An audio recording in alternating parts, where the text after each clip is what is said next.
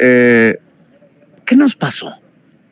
¿Qué, ¿Qué nos ha pasado? Porque yo recuerdo cuando hablábamos del gigante dormido y luego parecía que habíamos despertado como gigante. Aquí marchamos un millón, en Chicago creo que fuimos 600 mil y así.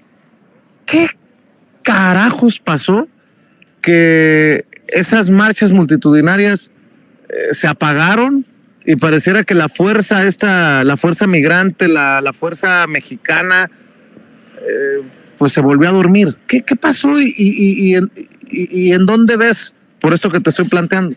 Mira, eh, nos dio para abajo cuando fue la, las marchas de la reforma para, para obtener papeles, ¿no? La reforma migratoria. Que nunca se dio. Que nunca se dio y que estaba en auge y eh, a los de Washington les dio miedo y no nos dieron papeles. Nos pasó en el 86, yo arreglé papeles en el 86, nos dieron para 3 millones, ¿sale?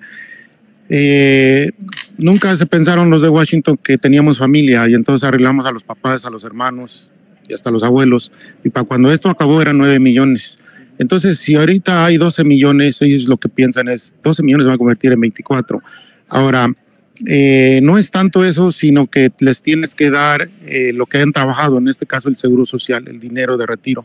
No lo hay, ellos, ellos no lo tienen. El, dinero de retiro del seguro social de Estados Unidos no existe. Entonces, al tú legalizar 24 millones de personas aquí, eh, te tienes que comprometer como gobierno a, a a dar ese, ese dinero, ¿no? Por ahí yo pienso que podríamos trabajar en, firmar algún documento donde el gobierno de Estados Unidos no se hiciera responsable de ese dinero, pero que nos diera esos documentos para venir y viajar y que nosotros mismos financiáramos una FORE como en México ya desde ya para que esa carga se le quite al gobierno de Estados Unidos porque eso es lo que más les preocupa a ellos, ¿no?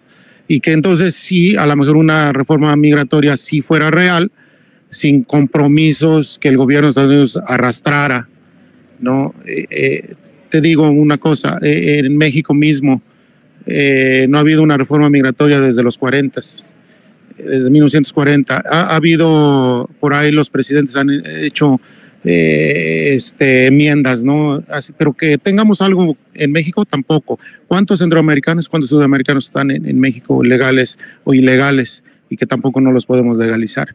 Yo creo que si empezamos en México, yo creo que en Estados Unidos sería también por ahí, pero eh, ahí tendríamos que, a ver, si yo tuviera eh, seis senadores migrantes verdaderos, 20 diputados migrantes verdaderos, y nos sentáramos con los de Washington al tú al tú, yo creo que podría hacerse una reforma migratoria sin arrastrar al gobierno de Estados Unidos con estas deudas, ¿no? Nadie lo piensa porque no viven aquí, porque los políticos pues, pues, tienen otra mentalidad. Yo lo he vivido ya por 40 años desde niño, ¿no? Entonces, si no, con Ronald Reagan la tuvimos, yo creo que sí se puede dar, pero simplemente en hacer acuerdos desde México con los políticos de México y con los políticos de Washington, ¿no? Qué interesante lo que nos estás planteando, Erasmo.